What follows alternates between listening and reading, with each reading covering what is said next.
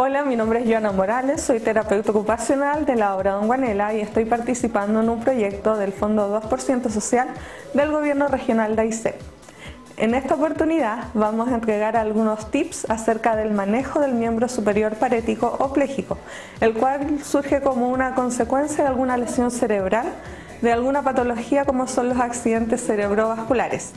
Esta enfermedad tiene una prevalencia de un 8% en la población mayor de 65 años. Cuando hablamos de un brazo parético o pléjico, nos referimos a que el brazo tiene una pérdida de movimiento funcional, es decir, nuestro brazo ya no lo podemos mover como lo hacíamos antes y esto se debe a un aumento del tono muscular. Es bastante frecuente que en esta patología aparezca el edema, es decir, que el, brazo, la mano se nos inflame, que haya dolor y que haya una limitación en el movimiento de nuestras articulaciones. Una de las consecuencias más frecuentes del brazo parético es la subluxación de hombro.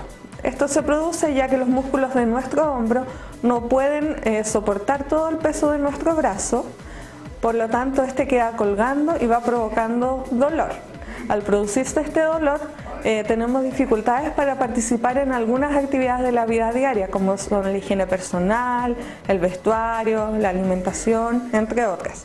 Para prevenir el tema de la subluxación del hombro, es importante tener un buen posicionamiento de nuestro miembro superior afectado. Cuando estamos en cama podemos colocar alguna almohada que vaya desde el hombro hasta la mano, ya para asegurar el buen posicionamiento.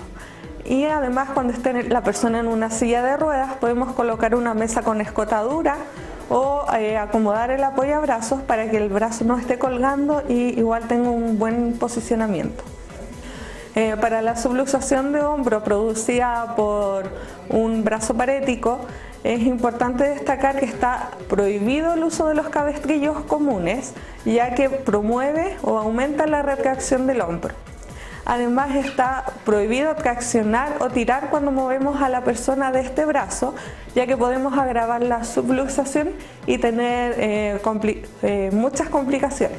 Bueno, cuando tenemos un brazo parético no solo se afecta el hombro, sino que también la mano. Ya la mano puede que se encuentre cerrada o en garra.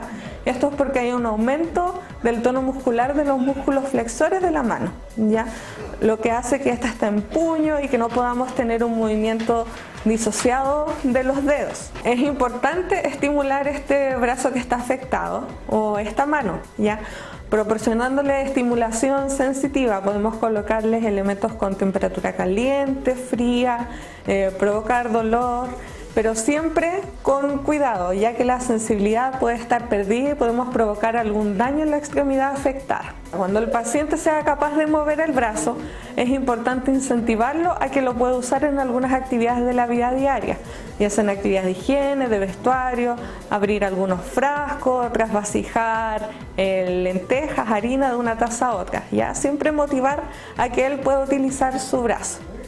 Otro punto importante es mantener la higiene de la mano afectada, ¿ya? que al estar la mano cerrada o en puño se puede generar humedad, provocando hongos y generando un mal olor. Por lo tanto hay que lavarla constantemente con agua, con jabón, con alcohol gel, con lo que tenga usted en su casa.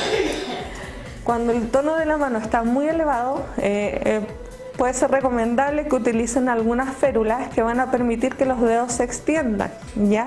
Y al extender los dedos, eh, los músculos flexores de la mano van a evitar la retracción y el acortamiento de los mismos.